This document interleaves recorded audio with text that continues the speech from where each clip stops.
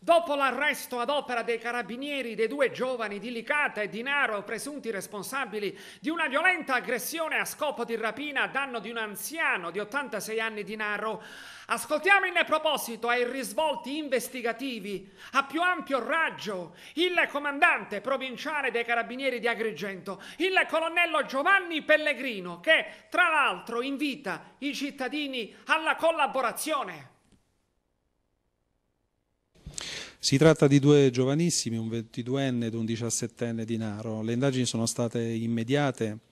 e si sono avvalse anche di una sorta di controllo di vicinato, nel senso che molti elementi, piccolissimi elementi sono stati sviluppati grazie anche a qualche segnalazione pervenuta al 112. Eh, questo ha consentito appunto di arrivare all'identificazione degli autori. Quello che ci auspichiamo è che questa collaborazione ci possa essere non solo nella fase repressiva, ma anche nella fase preventiva, perché poter eh, così eh, porre l'attenzione su soggetti sospetti che si aggirano in aree rurali oppure insolite ci può consentire di identificarli oppure di intervenire anche nella flagranza di reato.